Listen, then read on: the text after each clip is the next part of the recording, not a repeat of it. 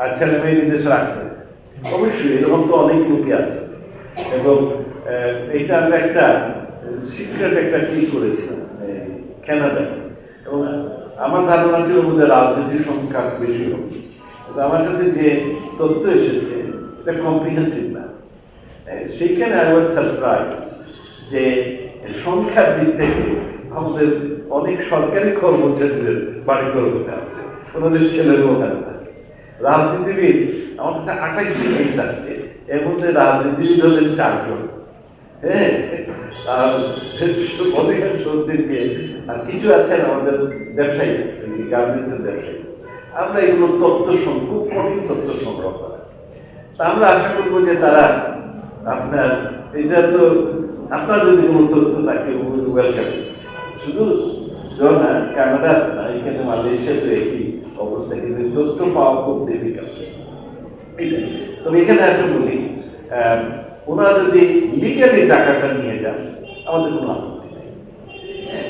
আর ওখান থেকে যদি তারা আবার কোনো প্রোগ্রাম করে দেশে আসে রিইনভেস্ট করে তাতেও আমাদের কোনো কিন্তু ইলিগেলে যদি নিয়ে যান, তাহলে আমাদের আইনে, তারপরে আমাদের আইনের আওতায় আমরা সম্ভব আশা করি আমরা উই আর ওয়ার্কিং এবং ইট ইজ তবে যেগুলো তথ্য বের হয় বিভিন্ন মিডিয়ায় হাজার হাজার কোটি টাকা, আসলে গুলো অত না আর এগুলো তো অনেকদিন ধরে হচ্ছে।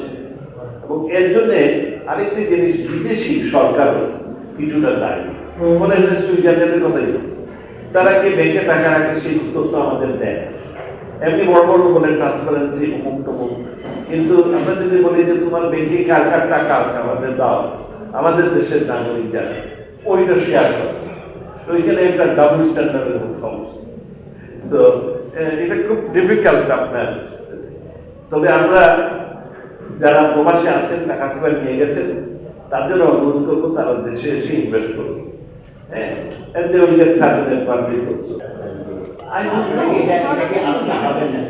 জি?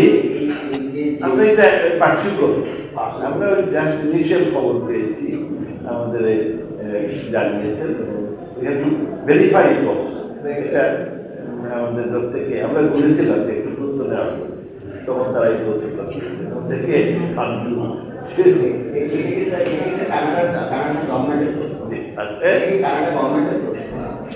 না এটা বাংলাদেশি লোকেরা সব থেকে